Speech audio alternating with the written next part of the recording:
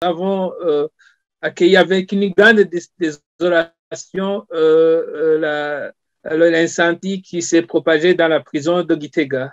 nous profitons d'ailleurs de ce moment pour présenter nos condoléances les plus attristées aux familles des victimes qui viennent de perdre les leurs dans cette tragédie. Euh, Akat Burundi euh, a toujours euh, dénoncé le phénomène récurrent de surpopulation carcérale. C'est vrai que l'origine de l'incendie ne nous est pas encore communiquée, mais l'excès de mesurer des chiffres favorise bien évidemment la propagation de l'incendie et conséquemment la lourdeur, des dégâts. Il y a à notre connaissance, il n'y a pas un espace réservé euh, euh, et libre réservé à, accueillir les, les, personnes ou les prisonniers qui, seraient, euh,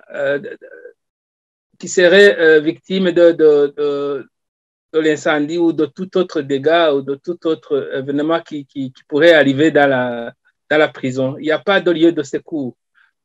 nous, ce qu'on peut demander, c'est en fait de prendre des mesures.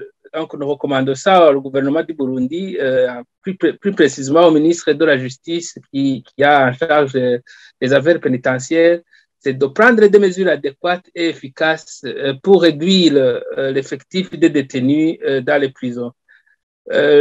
nous pensons que cela pourrait limiter les catastrophes, ou tout au moins faire une gestion efficace euh, des catastrophes en cas de, de survenance. Euh, par exemple, pour euh, la prison de Gitega aujourd'hui, elle compte 400, elle, compte 1539 détenus, alors qu'elle a une capacité d'accueil de 400 détenus.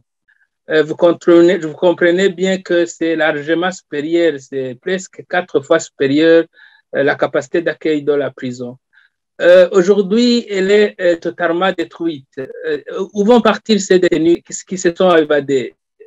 Vont-ils rester à la prison parce que non, c'est pas possible. Donc, ils vont les, mettre dans les, prisons, dans les autres prisons, mais qui sont aussi surpeuplées. Donc, vous, voyez que c'est, ça sera vraiment très difficile la gestion de ces détenus.